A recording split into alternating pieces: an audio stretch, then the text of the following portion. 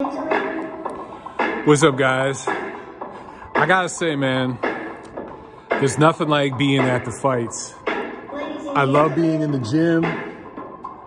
I love being in the ring. No matter where it is, there's just something about being at the fights, man. There's something about being in the ring.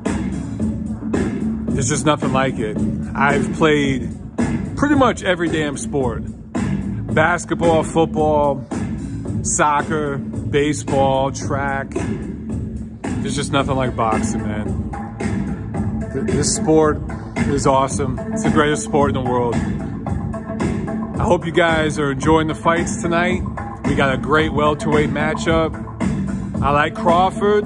I think he's going to have a late stoppage win. Possibly it goes the distance. But if anyone could stop Shawn Porter, it's Terence Crawford. Either way, he's going to get the job done tonight, and I think he's going to make a statement.